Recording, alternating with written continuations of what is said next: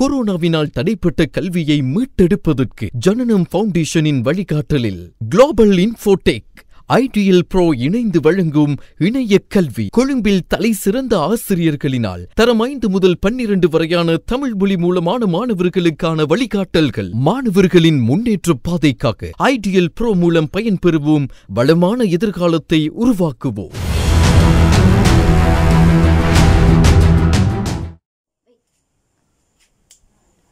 தரம் பத்து அச்சிரகணித பின்னங்கள் அதாவது ரெண்டாம் தவணைக்குரிய பாடம் அச்சிரகணித பின்னங்கள். அது தொடர்பான வினாக்கள் மற்றும் பயிற்சிகளை பார்ப்போம். ரைட் முதலாவது விஷயம் அச்சிரகணித பின்னங்கள் என்றால் என்ன? அப்படி என்றால் பார்ப்போம். சரி இப்போ உதாரணமாக எக்ஸிங்கிள் நாலு எக்ஸிங்கிள் எக்ஸாக ரெண்டு மூன்றுங்கள் எக்ஸாக மூன்று. இவை தான் அச்சரகணித பின்னங்கள். அதாவது மேலேயும் ஒரு உறுப்பு கீழே ஒரு இலக்கம். மேலே ஒரு உறுப்பு கீழே ஒரு அச்சரகணித கோவை. மேலே ஒரு இலக்கம் கீழே ஒரு அச்சரகணித. இப்படி இவ்வாறான அமைப்பை கொண்டவையை தான் நாங்கள் என்ன? அச்சரகணித பின்னங்கள்னு சொல்லுவோம். இந்த அச்சரகணித பின்னங்களை கூட்டல் கழித்தல் தொடர்பான வினாக்களையே இங்கு பார்க்க போகிறோம். இப்போ முதலாவது விடயமா? ரைட் இது தரம் ஒன்பதுல நீங்கள் இது படிச்சிருக்கிறீர்கள். ரெண்டாலும் நான் இதை கவனிங்க. இப்போ இதில் ஒரு அச்சர கணித பின்னம். இதை எவ்வாறு கூட்டுவது? இதை கவனிங்க. இந்த அச்சர கணித பின்னத்தில் நாங்கள் மேலே இருக்கிற என்ன சொல்லுவோம். தொகுதி கீழே இருக்கிறது பகுதி. மேலே இருக்கிறது தொகுதி கீழே இருக்கிற பகுதி. பகுதியன் சமனாக இருந்தால் சரியா? பகுதி எண் சமனாக இருந்தால் மேலே இருக்கிறத நாங்கள் நேரடியாக கூட்டலாம். உதாரணமாக இப்போ மூன்று. மேலே இருக்கிறது எக்ஸும் எக்ஸும் கூட்டுப்பட்டு நேரடியாக எக்ஸையும் எக்ஸையும் கூட்டினா ரெண்டு எக்ஸ் மூன்று. அதாவது என்ன? பகுதியன் சமனாக உள்ள போது மேலே இருக்கிற தொகுதியை நேரடியாக கூட்டலாம். சரிதானே? ரைட் அதே மாதிரி இப்போ வேறு இப்படி ஒரு கோவை வரைக்கல பாருங்க. எக்ஸாக ஒன்று கீழ் அஞ்சு எக்ஸாக ரெண்டு கீழ் மூன்று. ரைட் இதை கவனிங்க. இதில் பாருங்க பகுதியன் சம் வேறுபட்டதாக இருக்கு. ஆகவே பகுதியனை முதற்கட்டமாக சமப்படுத்தணும். எவ்வாறு சமப்படுத்துறது? இந்த அஞ்சுக்கும் மூன்றுக்கும் போமாசி. போமாசி காண்றதை பார்ப்போம். சரியா? அஞ்சுக்கும் மூன்றுக்கும் போமாசி. இந்த முறையில் போமாசி காணலாம். அஞ்சுக்கு மூன்றுக்கும் முதலாவது முதன்மையனால் பிரிக்கிறது முதலாவது முதன்மையன் ரெண்டு ரெண்டால் பிரிவிடாது. அடுத்த இலக்கம் மூன்று. அடுத்தது இதையும் திருப்ப அஞ்சு. அப்போ ஒன்று ஒன்று வரை மட்டும் பிரிக்கிறார். அப்போ போமாசி இது ரெண்டையும் பெருக்கினா சரி. ஐ மூன்று பதினஞ்சு. அப்போ இதுக்கான போமாசி எத்தனை? பதினஞ்சு. பதினஞ்சு இந்த உறுப்பு என்னத்தால் பெருக்கணும்? மூன்றால். அப்போ மூன்றால் பெருக்கினாண்டா மேலேயும் எத்தனையால் பெருக்கணும்? மூன்றால் பெருக்க வேணும். சக. இது பதினஞ்சு போமாசி. இப்போ இந்த உறுப்பை என்னத்தால் பெருக்கி இருக்கிறோம் அஞ்சால். அப்போ மேலேயும் அதை அஞ்சால் பெருக்கணும். அப்போ அஞ்சு ரைட் இப்போ பாருங்க பகுதியின் சமனாக வந்திருக்கு. இனி அப்போ மேலே இருக்கிற பின்னத்தை நேரடியாக கூட்டலாம். அப்போ பதினஞ்சு இதை நான் அடைப்பு நீக்கி போட்டு போடுறேன். மூன்றால் எக்ஸை பெருக்கினா மூன்று எக்ஸ் மூன்றால் ஒன்றை பெருக்கினா மூன்று. சக அஞ்சால எக்ஸை பெருக்கினா அஞ்சு எக்ஸ் அஞ்சால ரெண்டை பெருக்கினா பத்து. இனி பாருங்க கூட்ட போறேன்.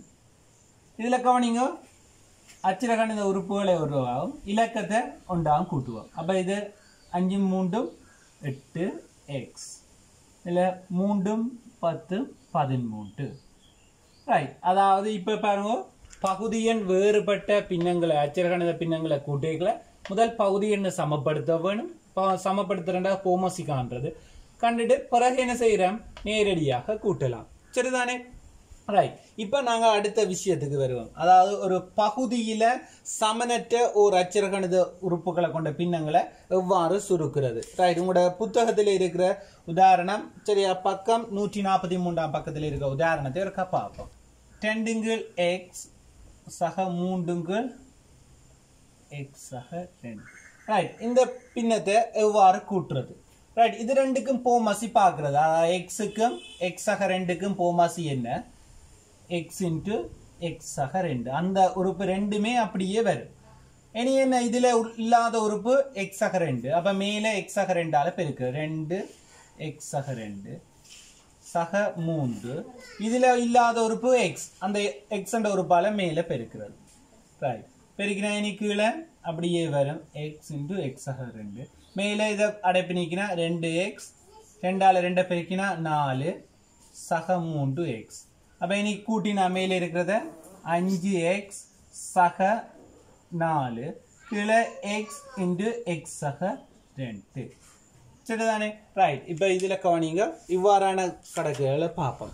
ரைட் உங்களோட புத்தகத்தில் இருக்கிற நூற்றி நாற்பத்தி நாலாம் பக்கத்தில் இருக்கிற உதாரண கணக்கை பார்ப்போம். சரியா? ஏயின் கீழ் மூன்று சய ஏ சய மூன்று கீழ் நாலு ஏ ரைட் இதுல கவனிங்க ஒரு இலக்கமும் உறுப்பும் வந்திருக்கு. அப்ப இதுக்கு போமசி என்னன்னு பாக்குறது நாலுக்கு மூன்றுக்கு முதல் போமசியை பாக்குறது பிறகு இந்த ஏக்கு பா ஏக்கும் ஏக்கும் போமசி ஏ நாலுக்கு மூன்றுக்கும் பார்த்தா பன்னெண்டு. அப்ப என்னண்டு வர போகுது பன்னெண்டு. அப்ப பன்னெண்டு ஏ பன்னெண்டு ஏண்டா இது எத்தனை உறுப்பால பெருக்கிறேன்? நாலு ஆள் அப்ப மேலேயும் எத்தனை ஆள் பெருக்கணும்? நாலு ஆள் பெருக்க நாலு ஆள் பெருக்கினா ஐநாக்கு இருபது.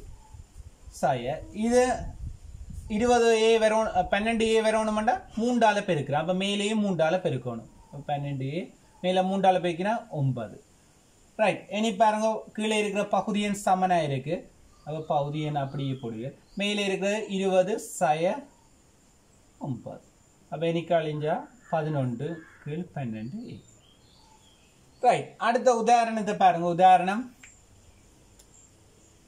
ரெண்டு ரெண்டுங்கள் மூன்று எக்ஸ் சக அஞ்சுங்கள் நாலு வை வர்க்கம்.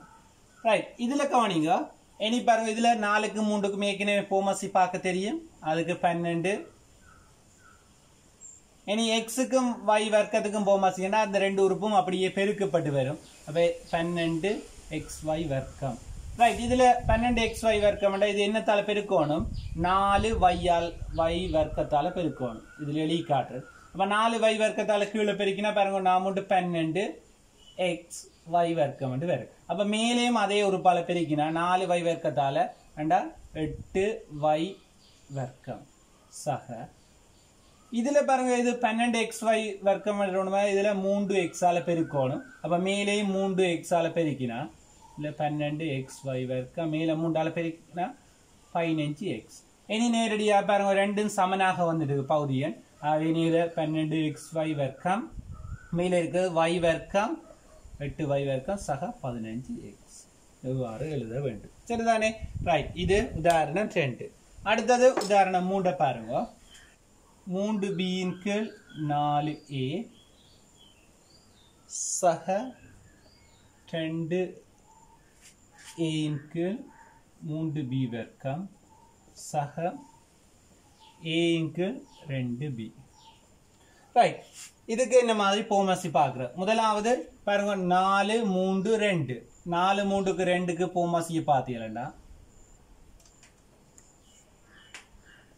நாலு மூன்றுக்கு போமசி பார்த்தா அதுக்கு போமசி காணிக்கல. முதலாவது ரெண்டால பிரிப்பியல் ரெண்டால பிரிச்சா ரெண்டு. மூன்று ஒன்று. திருப்ப ரெண்டால் பிரிச்சா ரெண்டு மூன்று ஒன்று. திருப்ப மூன்றால் பிரிச்சா ஒன்று ஒன்று. அப்ப இதை பிரிக்கினா இரண்டு நாலு நான் மூன்று பன்னெண்டு. அப்ப நாலுக்கு மூன்றுக்கு ரெண்டுக்கு போமசி பன்னெண்டு. ரைட் இதுல கவனிங்கோ. இதுல ஏ இதுல பி வர்க்கம் இல்ல பி அப்ப அதையும் இது இதன் மூலம் காணலாம். ஏ பி வர்க்கம் அடுத்து பி அப்ப முதலாவது உறுப்பு பி ஆல பிரியுங்கோ. பி ஆல பிரிச்சா என்னட்டு வரும்? ஏ இது பிரிவடா அப்படி எழுதுறது. இதுல பி இது உண்டு திரும்ப பி ஆல பிரிச்சீங்களா ஏ இது உண்டு உண்டு திரும்ப இனி ஏ ஆல பிரிச்சீங்களா உண்டு உண்டு உண்டு அப்ப போமசின்றது இது இவ்வளத்தையும் பெருக்கினா சரி. அப்ப பி வர்க்கம் ஏ சரிதானே? பி வர்க்கம் ரே இத இலகுவா கண்டுபிடிக்கிறதுக்கு என்ன முறையண்டா? ஏல உயர்படி என்னவோ அதை எழுதுங்க. அதே மாதிரி பியில உயர்படி எதோ அதை எழுதலாம். இப்ப பியின் உயர்படி ரெண்டாம் அடுக்கு. அப்ப பியின் ரெண்டாம் அடுக்கு. ஏல வேற இல்ல. ஆகையின் உயர்படி உண்டு. அதையே அப்படியே நேரடியா எழுதலாம். ரைட் இது என்னத்தால இனி பெருக்கினா பன்னெண்டு பி வர்க்கம் ஏ வரும். அண்டா இதுல பாருங்க. பி வர்க்கம் வரணுமாண்டா? இதுல பியா பி வர்க்கத்தால பெருக்கி இருக்கணும் பன்னெண்டு வரணுமாண்டா? மூன்றால் பெருக்கி இருக்கணும் அப்ப மேலேயும் அதே உறுப்பால பெருக்குங்க. அப்போ மேலே பெருக்கினா மூன்று ஒன்பது பி கேனம். சக இதில் பன்னெண்டு பி வர்க்கம் ஏ இதில் பன்னெண்டு பி வர்க்கம் ஏ வரணும்னா நாலு ஏயால் பெருக்கணும். அப்போ மேலேயும் நாலு ஏயால் பெருக்கினா எட்டு ஏ வர்க்கம்னு வரும்.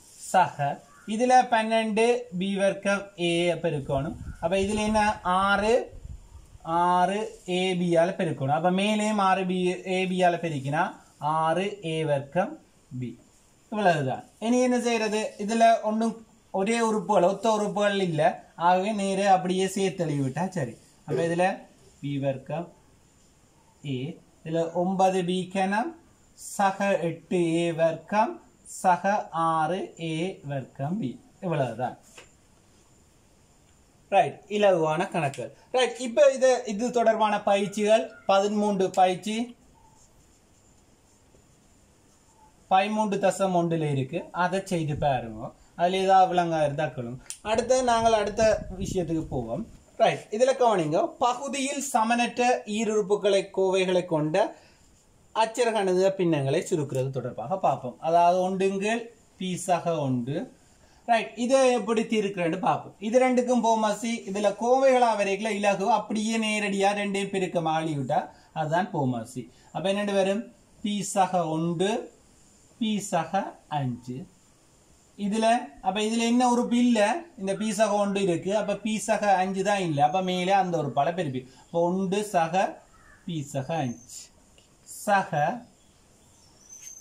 இதுல போமாசி பி சக ஒன்று பீசக அஞ்சு அப்போ இதில் இல்லாத உறுப்பு பீசக உண்டு அப்போ மேலே ஒன்று சக பீசக உண்டால பெருக்குவீங்க ரைட் இதில் ரெண்டுலேயும் கீழே பொதுவான பின்னம் அதே வந்துடுது அப்போ நேரடியாக நீ கூட்டலாம் பீசக ஒன்று பீசக அஞ்சு ரைட் இதில் கவனிங்க ஒன்றால் பீயை பெருக்கினா பி ஒன்றால் அஞ்சை பெருக்கினா அஞ்சு ஒன்றால் பீயை பெருக்கினா பி ஒன்று இனி இது ரெண்டையும் பாருங்க பியையும் பியும் கொடுவியல் இலக்கத்தையும் இலக்கத்தையும் கொடுவோம் அப்ப ரெண்டு பி சக ஆறு கீழே பி சக ஒன்று பி சக அஞ்சு விளங்குதா ரைட் இதுல இருக்க கவனிங்க திருப்ப சொல்றேன் அதாவது பகுதியில இப்படி கோவைகளாக விரைக்கல போமசியா எடுக்கிறது இலகுவா இருக்கும் அந்த ரெண்டு கோவையும் அப்படியே போமசியா எடுங்கும் அடுத்த இதுல பீசக ஒன்று இருக்கு பீசக அஞ்சு இல்லை அப்ப பீசக அஞ்சால பெருக்குவியல் அப்போ மேலேயும் பெருக்குவியல். சக அதே மாதிரி இதுல பீசக அஞ்சு இருக்கு பீசக ஒன்று இல்லை அப்போ மேலேயும் பீசக ஒன்றால பெருக்குவியல். ரைட் பெருக்கி போட்டு இனி பகுதியின் ரெண்டுலேயும் சமனாக வந்துட்டுது. அப்போ சமனாக வந்தால் என்ன செய்வோம்? மேலே இந்த ஒரு ஒரு போல அப்படியே கூட்டினா சரி. அப்போ இதை அடைப்பு நீக்கிறேன். பி பீசக அஞ்சு இதில் பெருக்கினா பி இதில் பெருக்கினா ஒன்று. அப்போ இனி பி ஒத்த உறுப்புகளை கூட்டுவோம். அப்போ பியும் பியும் கூட்டுப்பட்டா ரெண்டு பி அஞ்சும் ஒன்றும் ஆறு. சரிதானே? ரைட் இதில் வேணுமெண்டா இதில் பொது எடுக்கலாம். இதில் நான் வேணுமெண்டா. இதில் ரெண்ட பொது எடுத்தால் பீஸாக மூன்று. இதில் அப்படியே வருது பீஸாக வந்து. எப்படி எழுதலாம்? இது கட்டாயம் வண்டியில். இவ்வளோத்தோட விட்டாலே சரி. ரைட் அடுத்த கணக்கு. உதாரணம் பார்ப்போம். நூற்றி நாற்பத்தஞ்சாம் பக்கத்தில் இருக்க உதாரணம் ரெண்டாவது. டெண்டிங்கில் எக்ஸ் சக மூன்று. சக மூண்டுங்கள் எக்ஸ் சக நாலு. ரைட் அதே மாதிரி தான் இதுல ஒரு வித்தியாசம் இது ரெண்டுக்கும் போமாசி என்ன? எக்ஸ் சக மூன்று எக்ஸ் சக நாலு. இதுல இல்லாத உறுப்பு இந்த இதுல எக்ஸக நாலு அப்ப மேலே எக்ஸ் எக்ஸக நாலு அளவு. ரெண்டு கவனமா இருக்கணும் இந்த ரெண்டோட பெருக்கணும் ரெண்டு சக எக்ஸ் எக்ஸக நாலு. சக இதுல எக்ஸக மூன்றும் எக்ஸ் எக்ஸக மூன்றும். எக்ஸ் எக்ஸக மூன்று எக்ஸ் எக்ஸக நாலு. ரைட் இதில் இல்லாத ஒரு இப்போ எக்ஸாக மூண்டு அப்போ மேலே எக்ஸாக மூண்டால் பெருக்குவியல். ரைட் இதில் கீழே பாருங்க பகுதியின் சமனாக வந்திருக்கு. அப்போ நாங்கள் நேரடியாக இனி கூட்டலாம். இப்போ எக்ஸாக மூன்று எக்ஸாக நாலு. மேலே பெருக்கல எக்ஸ் ரெண்டால் எக்ஸை பெருக்கினா ரெண்டு எக்ஸ் ரெண்டால் நாலு பெருக்கினா ரெண்டு எட்டு. இதில் மூன்றால் பெருக்கல மூன்று எக்ஸ் சக ஒன்பது. எனக்கவனிங்க எக்ஸை உறுப்புகளை ஒத்த உறுப்புகளை சேர்ப்போம். ரெண்டு எக்ஸும் மூன்று எக்ஸும் கூட்டினா அஞ்சு எக்ஸ் சக ஒன்பது எட்டும் பதினேழு கீழே அதே மாதிரி வரும் எக்ஸ் சக மூன்று எக்ஸ் சக நாலு கீழே இருக்கிறது இதை சுருக்கோணம் வண்டியில் இந்த கோவைகளாகவே அப்படியே விடலாம் மேலே இருக்கிறது தான் சுருக்கோணம் சரிதானே ரைட் அடுத்த உதாரணம் ரைட் சரி இந்த பாடம் மிக இலகுவான பாடம் என்ன குறுகிய வினாக்கள் மட்டுமே தான் சரி ரைட் அடுத்த உதாரணம் மூண்டை பாருங்க. இதுல கவனிங்க. எக்ஸ் சக ஒன்றுங்கள் எக்ஸ் சக ரெண்டு சக ஒன்றுங்கள் எக்ஸ் வர்க்கம் சய மூன்று எக்ஸ் சய பத்து. ரைட் இதுல கவனிங்க. இப்படியான இது வரைக்கும் எங்களுக்கு இது கோவையா இருக்கு இது கோவையாக இல்ல. அச்சிரகணித கோவையா. அப்ப முதல் கட்டமாக இதை கோவையா மாத்துவோம் அது என்னண்டு மாத்துறது அதாவது எக்ஸ் வர்க்கம் சய மூன்று எக்ஸ் சய பத்து ரைட் இதை கோவையாக மாத்திரக்கு இதை கவனிங்க. சய பத்துக்கு கேரணி பார்க்குறது சய பத்துக்கு என்ன கேரணி? ஒன்று தர பத்து ரெண்டு தர அஞ்சு. சரியா? இதில் சயக்குறி வந்தபடியாக ஒன்றுக்கு சயவும் மற்றதுக்கு சகவும் வரப்போகுது. அதை என்னென்று தீர்மானிக்கிற? இந்த எக்ஸின்ற குணகத்தை பார்க்குறேன் எக்ஸின்ற குணகம் சயவாக இருக்குது ஆகவே பெரிய தானத்துக்கு சய போடுவீர்கள். அப்போ இதில் சய இது சக. சய சக. ரைட் இனி பொருத்தமான இது ரெண்டு களி கேக்கில் பாருங்கள் கூட்டைக்கல ரெண்டு மண் சயஞ்சும் கூட்டைக்கல சயம் உண்டு வரும் ஆகவே இதுதான் பொருத்தமான கேரன் ஆகவே இது என்னென்று எழுதலாம் எக்ஸ் சய எக்ஸ் ஆக ரெண்டும் எக்ஸ் சய அஞ்சும் தான் கேரணியாக காணப்படும் இனி அதை அப்படியே இதில் கொண்டு வந்து பிரதியிடுகள் அப்போ ஒன்றுங்கள் எக்ஸ் சக ரெண்டு சக கீழே எக்ஸ் சக ரெண்டு எக்ஸ் சய அஞ்சு ரைட் எனி கவனிங்க மேலே அப்படியே எழுது இனி பாருங்க இப்படி வந்தோடனே இதே நீ போமசி பார்க்குறேன்டா. ரெண்டுக்கு முதல் பொதுவாக வார உறுப்பு எழுதுற. ரெண்டுக்கும் பொதுவாக வார உறுப்பு எக்ஸ் ஆக ரெண்டு எக்ஸ் ஆக ரெண்டு பொதுவாக வருது. இப்போ எக்ஸ் ஆக ரெண்டு எழுதுவீங்க இப்போ இந்த அடுத்ததாக என்ன? எது மிகுதியாக இருக்கோ அதை அப்படியே சேர்த்து எழுதுற எக்ஸ் ஆக ரெண்டு. முதல் கட்டமாக ரெண்டுக்கும் பொதுவாக வார உறுப்பை பார்த்து எழுதுற. பேந்து மிகுதியாக இருக்கிற உறுப்பை அப்படியே சேர்த்து எழுதினா சரி. அப்போ இதில் கவனிங்க இதில் எக்ஸ் ஆக ரெண்டு இருக்கு. இதில் எக்ஸ் ஆய அஞ்சு இல்ல. அப்ப மேல ஒன்று எக்ஸ் ஆய பெருக்குவீங்க சக. இது அப்படியே எழுதுவியல் எக்ஸ் சக. ரெண்டு எக்ஸ் ஆய அஞ்சு மேல ஒன்று. ரைட் இதில் கவனிங்க. என்ன? கீழே பகுதியன் சமனாக வந்தது. இனி நேரடியாக கூட்டலாம். இப்போ எக்ஸ் ஆக ரெண்டு எக்ஸ் சய அஞ்சு. இதுல கூட்டைகள எக்ஸ் சய அஞ்சு இதுல சக உண்டு ரைட் இனி எழுதினா பாருங்க. எக்ஸ் அப்படியே வரும். சய அஞ்சும் சக ஒன்றும் கூட்டினா சய நாலு இதுல எக்ஸ் சக ரெண்டும் எக்ஸ் சய அஞ்சும் வரும். விளங்குதானே? ரைட் இதுதான் நேரடியாக ரைட் அடுத்த இன்னொரு உதாரண கணக்கு பார்ப்போம். ஒண்டுங்கள் எக்ஸய ஒன்று சக மூண்டுங்கள் எக்ஸக ஒன்று சய ரெண்டுங்கள் எக்ஸ் வர்க்கம் சய ஒன்று. ரைட் இதுல கவனிங்க இதுகள் அச்சிரகணித கோவைகளாகவே இருக்கு. அப்ப இதுல பிரச்சனை. இதுல பாருங்க அச்சிரகணித கோவைகளாக இல்ல. அப்ப இதை முத கோவையா மாத்தணும். அப்ப என்னண்டு மாத்தலாம்? எக்ஸ் வர்க்கம் சய உண்டா இது என்னண்டு எழுதலாம்டா? எக்ஸ் வர்க்கம் சய உண்டின்ற வர்க்கம். அடுத்த கட்டமா இதை சுருக்கினா எக்ஸ் சய உண்டு எக்ஸ் சக உண்டு வரும். அதாவது எக்ஸ் வர்க்கம் சய உண்டின்ற வர்க்கத்தின் விரிவு எக்ஸ் சய உண்டு எக்ஸ் சக உண்டு ரைட் அப்ப இனி போமசி என்ன? இதை கவனிங்க. இதில் அப்படி எழுதுவோம். எக்ஸ் ஒன்று இதில் மூன்றுங்கு இதுல மூண்டுங்கு எக்ஸ் சக சய எக்ஸ் ஒன்று உண்டு ஒன்று. ரைட் இப்போ இப்படியே வந்துட்டேன்னா இனி பாருங்க இதில் போமஸ் இதுக்கு முதல் மூணு பொதுவாக வர்றதை பார்ப்போம். மூன்றுலேயும் எதுவும் பொதுவாக வருதா? இல்லை. அப்போ பொதுவாக வர்றது இல்லை. அப்போ ரெண்டில் பொதுவாக வர்றதை பார்ப்போம். ரெண்டில் பொதுவாக என்ன வருது? எக்ஸய ஒன்று. அப்போ எக்ஸய ஒன்று.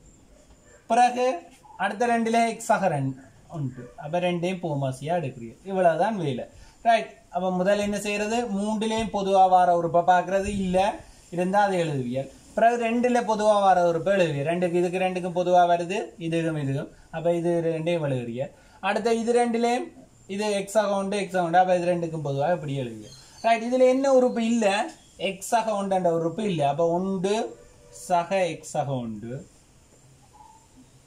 சக மூன்று. இதுல என்ன உறுப்பு இல்ல? எக்ஸ் சய ஒன்று உறுப்பு இல்ல. சய ஒன்று. சய ரெண்டு. ஏன் இதுல எல்லாமே அப்படியே இருக்கு? அப்ப அப்படியே எழுதுவியல் ரைட் நீ என்ன செய்வியல் கீழே எக்ஸ் சய உண்டு எக்ஸ் சக உண்டு இதை சுருக்கி எழுதினா சரி. இது எக்ஸ் இதை பெருக்கினா உண்டு இதை பெருக்கினா மூன்று எக்ஸ் சய மூன்று. சய ரெண்டு. ரைட் இனி கவனிங்க இது எக்ஸ் சய உண்டு எக்ஸ் சக உண்டு ரைட் இதுல எக்ஸையும் எக்ஸ் ஒரு சேர்த்தா நாலு எக்ஸ் இதுல கவனிங்க இது சக ஒன்றும் சய மூண்டும் சய ரெண்டு ரெண்டு வரும். இதுல ஏற்கனவே ஒரு சய ரெண்டு அப்ப கூட்டுப்பட சய நாலு. ரைட் இதுல கவனிங்க இதில் என்ன சுருக்கலாம். இதில் நாலை பொது எடுக்கலாம். நாலை பொது எடுத்தா என்னண்டு வேற பொது எக்ஸ் சய ஒன்றும் இங்க கீழே எக்ஸ் சய ஒன்று. ரைட் இதுல கவனிங்க மேலேயும் கீழேயும் ஒரே கோவை பெருக்கமா வருது. அப்ப என்ன செய்யலாம்? மேலேயும் கீழேயும் சுருக்கலாம். இப்படி ஒரே கோவையகளாக வரைக்குள்ள சுருக்கலாம். அப்ப இதுவும் இதுவும் வெட்டுப்பட்டு எங்களுக்கு நாலின் கீழ் எக்ஸாக ஒன்று வரும். விளங்குதா? ரைட் இவ்வளவு தான் இந்த பாடம் தொடர்பான உதாரண கணக்குகளும் இதுகளும். ரைட் நீங்க இதுல இருக்கிற பயிற்சி பதிமூன்று தசம் ரெண்டு பயிற்சியை செய்து பாருங்க. இது தொடர்பான விளக்கங்கள் சந்தேகங்கள் இருந்தால் அடுத்த கிளாஸ்ல நான் இதை விளங்கப்படுத்துவேன். Thank you.